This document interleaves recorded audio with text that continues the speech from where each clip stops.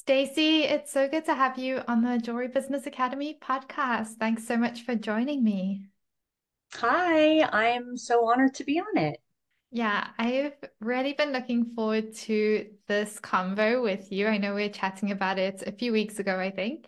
Um, but I've really been looking forward to just talking about your business building journey because you've been in the industry for many, many years and you've built Stacy Scissors into an incredible brand. And this is an extra special episode because you have been a part of the Jewelry Business Academy for a couple of weeks now, still early days, but a couple of weeks. And so I know you and your business relatively well. And so, you know, I know that your story is really going to inspire a lot of jewelers who are maybe in the early stages or maybe at a similar stage as you and wanting to scale and not really sure what that looks like for them. So, before we dive into everything else, do you want to go ahead and introduce yourself to our listeners and just give them a little bit of background as to how you got to where you are today? Yes, um, I actually am a college graduate. I went to school to be a teacher, and I ended up staying home for a year when I had my first baby and I was bored. So I started this business and I actually fell in love. I always say it picked me. Um, and now that baby is 17. She's getting ready to go to college. I'm still doing this and I can't imagine a better way to fill my days. I absolutely love what I do. Um, I loved teaching as well, but this is just different. It's my own thing. Mm-hmm. Um, I just like the creative outlet and I like that it's flexible. I get to make my schedule. I get to be mom first. Um, I mean, it's just it's a lot of fun. I really love it. Mm. I love that so much. Honestly, I, I know this is going to inspire so many people because I was actually chatting to a new mother yesterday who's just had her little one and she's wanting to do the same. And it's so interesting to see somebody who's like 17 years down the line who started in the same position and like kind of ended up going all in on your jewelry business for all these years. So, you know, for somebody who's listening, who's where you were, 17 years ago, if you can think back that far. Um, in, wow. and is at that point of, okay, well, I have these babies at home and, you know, I kind of want to try make this jewelry business work. It's a really hard decision to make at that stage because you actually don't know if you're going to make it at that stage. So what would you so say to like somebody who's in that situation where you were 17 years ago? Wow, if I could go back and talk to myself in that moment, I would have changed so much of how I started. Because if you have like an end goal in mind and you know where it's going, you can streamline things to take you there faster in more efficient ways. And I just, I really started it as a hobby. I never really intended it for it to grow so big. I I was, you know, having other plans. This was not going to be my job. So I really just really wish I would have started working with a coach sooner and you know decided this is going to be my career and how do I want what are my future goals going to be. I think in the beginning I was just kind of having fun and if I sold something it was extra money and it was fun but thankfully um, my husband was able to financially afford for me to do that. Mm-hmm. Um, I think a lot of people when they start their business they're they're financially needing to depend on it. And I think the fact that I didn't had to uh, do had to worry, you know, made it me more willing to just jump in and do it and not give up because I wasn't relying on it. I didn't have that pressure. Mm-hmm. So I think the pressure is a big deal when it's your only income. You know, uh, I know a lot of other people when we're on our group calls, and a lot of them are making the transition from their real nine to five to this job. And it's a lot. It's a lot to take on. Luckily, I I feel like I had the freedom to explore it without the pressure. Mm, so yeah. I, you know, I think that that's a really easy way to go about it. But yeah. I don't, I don't think a lot of people have that luxury. No, definitely not. I think like it's definitely a blessing to be given that opportunity of like the time and the that pressure that financial pressure being taken off. It definitely makes a difference Um, so it's definitely a blessing. And I know there's a lot of mothers listening who do have that. And they still, there's still so much fear, even with that, in even just putting your own work out there, even in just selling. Have you, like, I know you're a confident seller now, but have you ever had moments where you felt like uncomfortable? So many, so many, so many, more than I can count. I have, I, I mean, I started making hand casted resin and that took me a long time, even just to make something sellable. Um, and so there was just a lot of trial and error in the beginning when you're selling something that you're like, I don't know, I think this one's pretty good, but it's still not perfect, you know, and just the anxiety of the person getting it. And oh my gosh, what if they say, you know, it's it's ugly or it's it's not perfect or it's and I mean, I've luckily had really good customers who've been really kind but then I also transitioned to getting a laser cutter, and that was a whole new learning curve and catching it on fire and sending out pieces that were rough around the edges because I was still trying to figure out settings and uh, it, has been a lot of trial and error. I have made so many mistakes. Uh, uh, my customers have usually been good about it. They've given me a lot of grace over the years. And I think through all that and starting with something so rough, now I'm more confident because I know, oh, these products are great mm-hmm. because I, I came from that. So if you're starting there and that's where you're at, just keep at it. You will refine. And then after you have really made all these mistakes, you finally know, like, okay, you know, the 49 I made before this were okay, but these are great. Mm-hmm. And I, I think you knowing that it's great gives you the confidence. Yeah.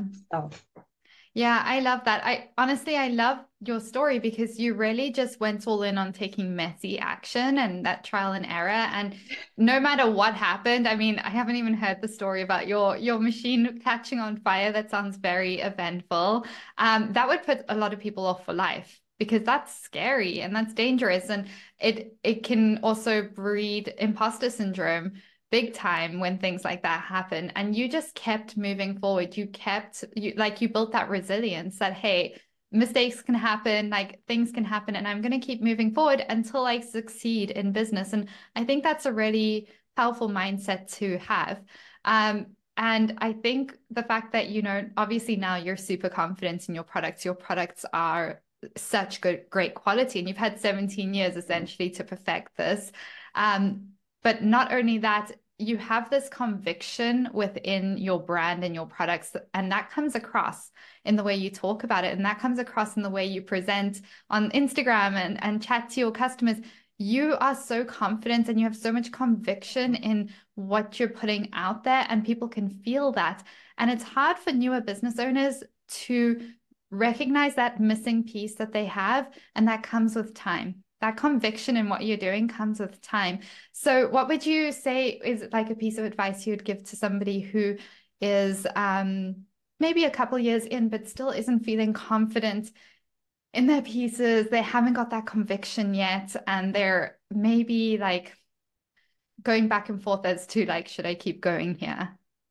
Oh my gosh, I heard the best I it wasn't a quote, but um a musician was on Instagram or maybe it was TikTok saying how when they create art, you know, all these musicians say, I create it for the fans, I create it for the audience, we're here for the audience. And this musician said, actually, I create it for me.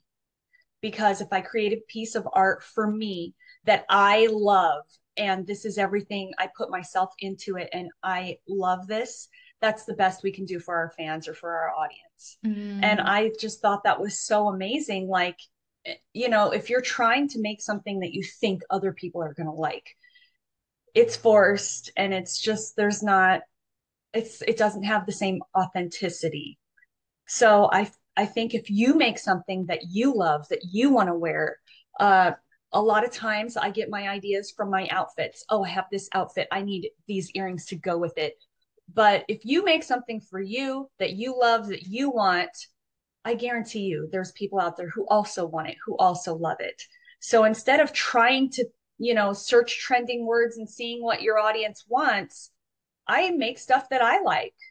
you know, and I think if you do that, as corny as it sounds, if you make something with love that you love it, it it carries the energy.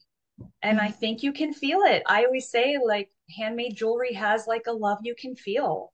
If it's made with love and joy and happiness, I really think the energy is in the piece. As cheesy as it sounds. Oh my gosh, I love this so much, Stacy. Like, I couldn't agree with you more. Like, there's definitely, well, number one, when it comes to handmade pieces, you can feel that energy. You can feel the love and care that's gone into pieces. And one of the things about jewelry that I love is it is an emotional piece, which means when people are purchasing, they also are associating the whole environment in which it was made with that piece. And like for me personally, when I buy something, I'll always think of like, okay, that person made it in this environment, this feeling, yes. like this much love was poured into it. Like that means a lot to me. And for a lot of buyers, that's really, really important. And I think your thing of like not hopping on trends, I see a lot of people doing that. And that comes from a place of insecurity of what do I need to do for people to like me and then buy from me? Instead of doing that, that breeds a lot of insecurity, that breeds a lot of um, imposter syndrome, big time as well. And instead of doing that, going all in on finding out what it is that you like. And I think that's where there's a big disconnect often, is because you know, and I see it with some of my clients who struggle to find their voice initially because maybe for many years they've been in the corporate world where they've had to mold themselves into a different version. And then even just finding their voice, finding their taste of what they like and what they want to design takes a little bit of breaking down some walls and it takes some time. time but mm-hmm. like i agree like when you when you go all in on what you love and you put that out there the way that you present it people who like the same thing people who like the energy you're putting out there are going to be drawn in and they're going to feel that passion that you have for those pieces and that's going to drive connection and that drives sales. Um, and it builds your community as well because you know just in the way that you're showing up. So i love that so much Stacy. And one quick question because obviously You've you've got two daughters, am I right? That's right. They're 15 and 17 and there's still a lot of work actually. yeah, I can I can believe that. Um so I have a question for our listeners who are maybe like mothers with younger children who are thinking like, okay, well, how is building this business really going to impact my life as I raise my children? Like what are the what would you say is the like top one to three things that you're so grateful that this business has enabled you to do with your children? Oh only one to three. I have so many. I, it's really been the best thing ever. Um, i actually i love to show my girls by example that you can do whatever you want. You know there's there's more than one way to get from point a to point b. Um, i i want to create a legacy for them and i think this has done so much for them in the fact that when they need money or, you know, oh, mom, I want to get this, I have them work for me. I have had them work events with me. I, I tell them, you know, this section, these items, these are yours. You're responsible for setting them up, making them, and selling them. You know, I make them talk to my customers. I really think it's had a great impact on my daughters. Mm-hmm. Um, just just their sense of business, and I think they can take that and carry it anywhere. And I also think it's made a big impact that I've been home when they're sick, I'm here. When they have a field trip, I'm there. You know, I think I think being present has been really good, and um, yeah, just leading by example, I think has been great. Mm, I love that so much. I think it's so like beautiful and such a, a blessing to have been able to spend like 17 years at home with your daughters and have them involved in your business in little ways. And, you know, I always say entrepreneurial entrepreneurship is such a personal growth journey and being able to invite your daughters into that and for them to be exposed to that and learn and grow in that way as well and also be involved in what you're doing is just so so special and so I really love that and I think a lot of mothers listening are going to feel really inspired by that as well so I want to kind of fast forward now because obviously, as we've mentioned, you've been in business for 17 years and you've been doing really well. But, you know, yeah. I would say I want to talk a little bit about your experience in the academy, in the Jewelry Business Academy, because you've been in there for a couple of weeks now, still very early days. Um, yes. But can you think back before we talk about your experience in the program? Think back to a few weeks before you joined. How are you feeling before um, we you came into the program? Do you remember? Well, yes, absolutely. I I have kind of been baby stepping this business um, this whole time because my main role has been mom. So I've just kind of trial and error. Okay, this worked. I'll do this. You know, I'll watch a couple, you know, YouTube videos. How can I be better at this? Okay. And then I try that. And, you know, I try this. And now my kids are becoming to be more independent. So I have more time to throw into it. And I just, I, I'm all, I'm just always wanting to be better at my craft or whatever I'm doing. So I just felt like having an actual coach who knows, especially about jewelry specific, where I should really be putting my energy really helps me to focus on the important, necessary things mm-hmm. instead of me spinning my wheels, trying this theory and this theory. And then as soon as, you know, the results are kind of eh, I'm on to the next thing because I don't want to invest any more time. Mm-hmm. But if I have somebody saying, hey, this is what you need to do, this works, this yields results, then I'm more willing to go all in and give it my all. And if the results are kind of wishy washy, I know, no, stick with it. So it's it's a peace of mind. It's like a, I don't know, it, it you just are more willing to do the work if you know that you're doing the work in the right places, the right areas, the right ways. Mm. So it, it's almost like a peace of mind.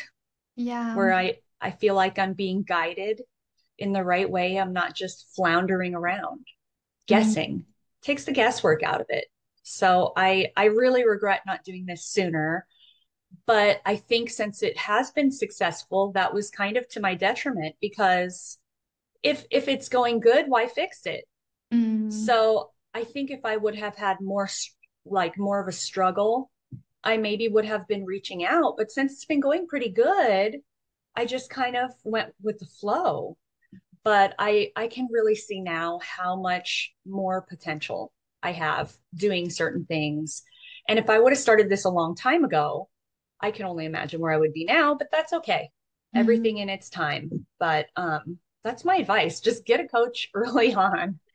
Yeah, you can save so much time, but you know, you've done an incredible job getting to where you are. And I think, you know, the one thing I remember is that you you you are doing well sales wise and in your business. Like you are i would almost say you you would have considered yourself to be thriving before we start working together. Would you say that's correct? yeah, for sure you yeah. are thriving. You are not struggling. And it is hard to get support at that point because it's kind of like well, well how is this going to help me um so you know let's talk about like you've been in it for a couple of weeks now. How are you feeling now? Where do you feel like it's helped you so far, even though we're only just getting started? And I it's just opened my eyes to where I want to go with it to the point where I honestly feel super I want to say overwhelmed, but not in a stressful way, but just like on the brink of there's so many cool things I'm going to do.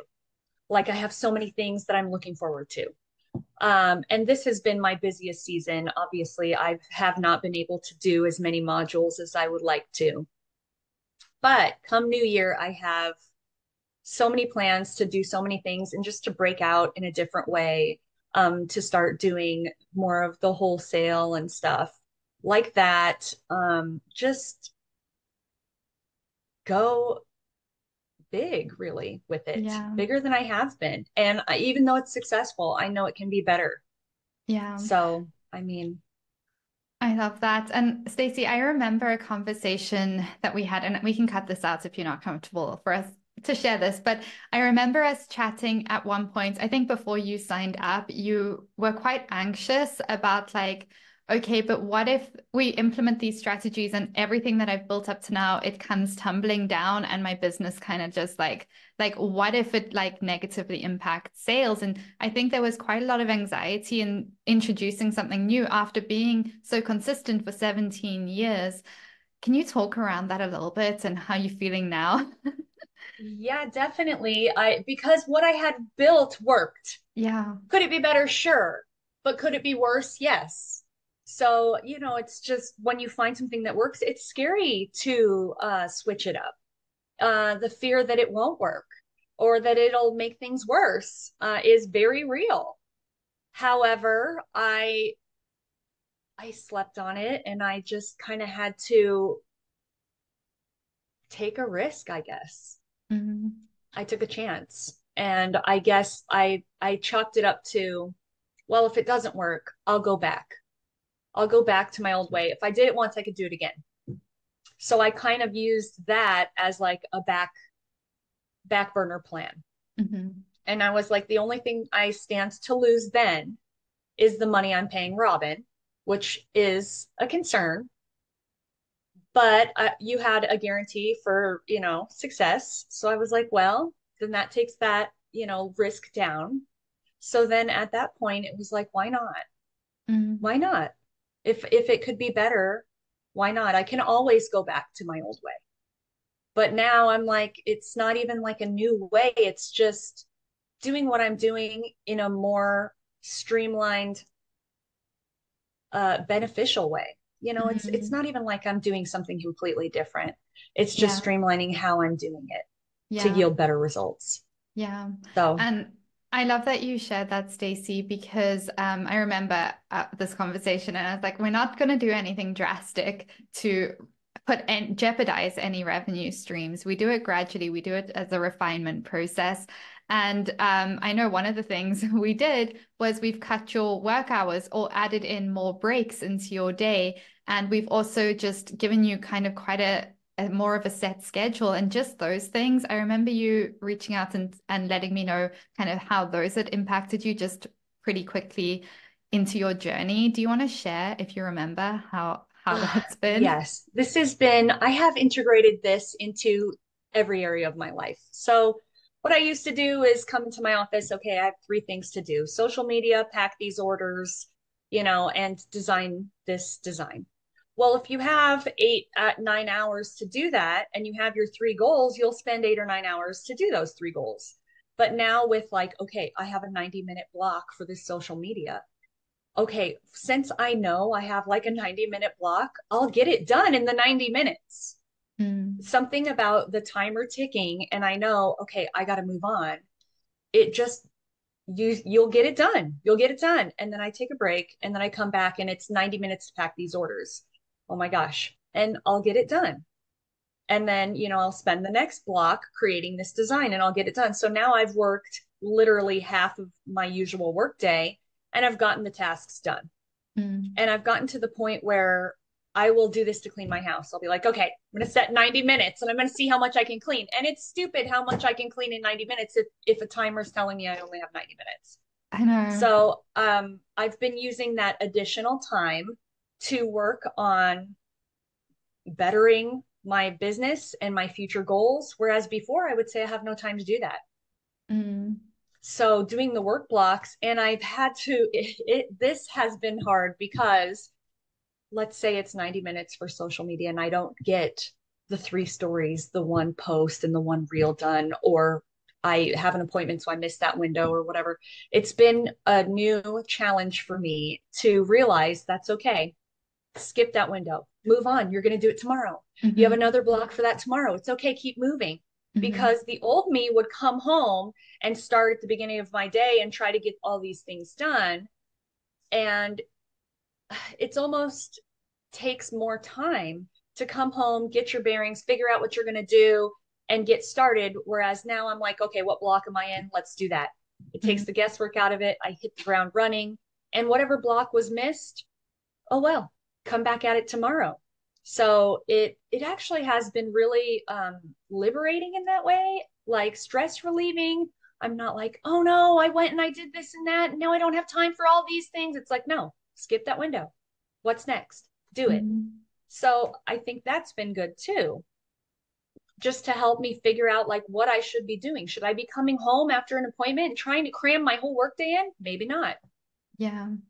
It comes so down to like freeing up that headspace freeing up that headspace and knowing that also integrating your business with your life. Like you don't want your business running your life. You want it to integrate with your life. So the whole reason you have a business is so you can go run errands in the morning and come back and not have a massive to-do list to check through in the afternoon. Like i think it's like embracing the integration of that. So i love that Stacy. Um do you have a few minutes to go over or are you on a tight schedule yeah You're okay, perfect. I just want to make sure because we've been chatting for a while. I didn't realize we're at time. But I would love to know what are some of the wins you've experienced since joining the Academy? I remember, I think it was around Black Friday. I think you did an Instagram live sale and you shared some like some wins from that. So I don't know if you're comfortable sharing some of the wins that you've experienced Absolutely. so far. Um, yeah, I so I do these Instagram live sales where I go live and I I show all my new merchandise and I sell it live. And then after that, I'll put it on my website. So that gives my shoppers like a first time to buy.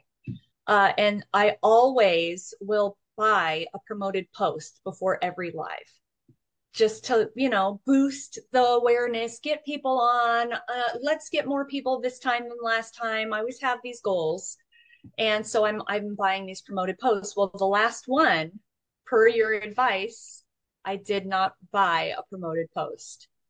And I did the marketing that you suggested prior to, mm-hmm. and it was by far the best, the most people on it, you know, on the live, best sales, everything. And I think that really like solidified the belief for me that this is working this is you know because the day before i was really like i know Robyn said not to do a promoted post but should i just do it anyway? I mean what is it going to hurt? I i did the marketing but i could also just buy the post and i was having this like internal dilemma. And then i finally was like no we're going to trust the coach. This is why we got the coach. We're going to do what the coach said.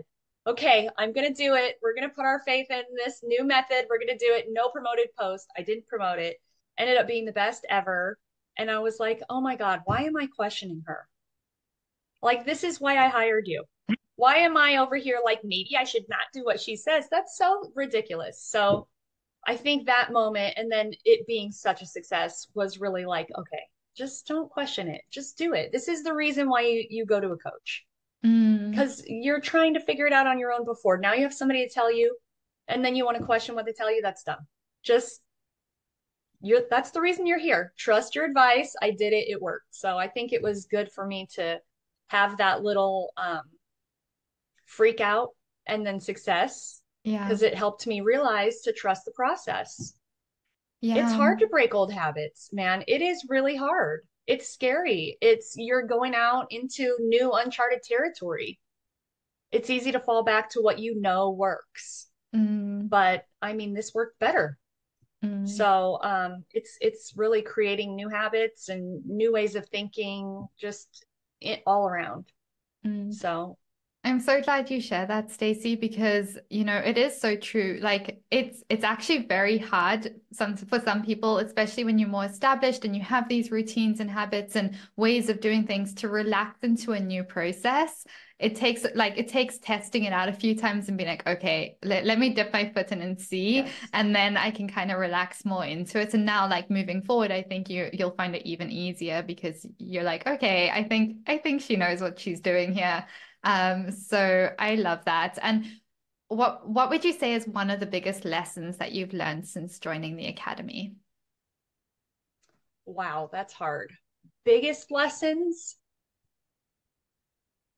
Oh man, uh basically the most like wow moment is that it doesn't have to be perfect, just show up real. Mm-hmm. Because I really thought you were gonna when I first hired you, I thought I was like, oh my gosh, she is gonna troll my Instagram and she is gonna be like, this messy hair don't care post, delete it. but instead you were like, come on, messy hair, just be authentic, you know, it comes through. So I think that was like a really big aha for me. Like, oh my gosh, I don't have to try to do these like really overproduced, amazing, stunning Instagram posts. I just need to come on. Mm-hmm. So, um, and then I started thinking about a lot of the jewelry people that I follow and watch. And they're not like over crazy produced either. They're coming on, they're talking about their dogs and their day and they're having ice cream or whatever it might be.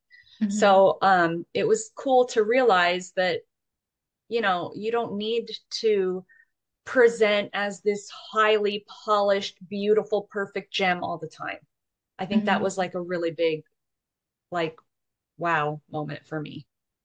Yeah, you know what? It's so interesting how how so many people feel that they have to present in a certain way for people to know, like, trust and buy from them. And it's so different on social media, especially in the market that we're in right now. People just want to connect with a real person who shows up as they are.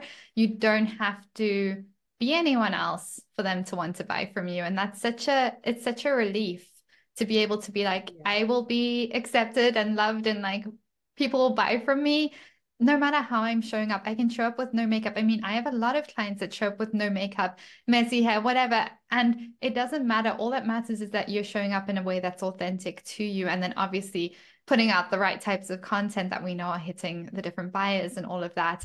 Um, but yeah, I think that's a beautiful lesson, Stacy. So I would love to know, you know, what has been your favorite, one of your favorite parts of being a part of the Jewelry Business Academy, and what are you enjoying the most?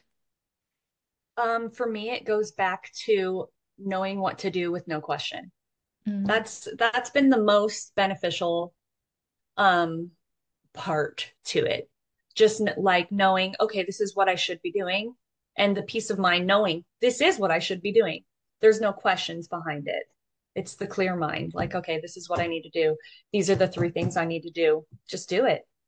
You know, I think I think I wasted so much time with trying to guess where my time is best spent. Okay, should I be doing this? Should I be, you know, mm. just knowing, just being like, okay, these, this is what I need to do, this, this, this, and do it. Mm, It's simple, honestly, when you know what to do, it's simple to do. yeah, yeah. No, I totally agree. I think we put sometimes we we spend so much time thinking of all the things we need to do and we build it up into this very complex thing. And I always say like a jewelry business is just an accumulation of teeny tiny doable steps and it's knowing what are the right steps for your business and what works for your lifestyle and how much time and energy you have and it's getting the right kind of formula for your business. Um, so I'm so happy to hear that, Stacy. And I'd love to know what would your advice be to somebody who's listening to this who maybe is thriving in their business and they are doing well and they but they maybe have hit a plateau, but they're like, well, I'm doing well, like there's no need to change things. What would your advice be to somebody who's thinking about getting support in the academy, but they're, you know, not too sure about investing in themselves and their business? I would say uh, it pays for itself Mm, because the amount of extra sales and extra customers you acquire doing the correct steps, it pays for the coaching. The extra sales pay for the coaching. So then, if that's the case, why not? You mm, know, it could always be better. It could always mm, be better, you know, and even if, let's just say the sales were the same, just having my day in these work windows, I mean, just for the pure structure and ease of mind, even if the it, sales weren't better, it would still be better. It's a better work day. It's a better workflow.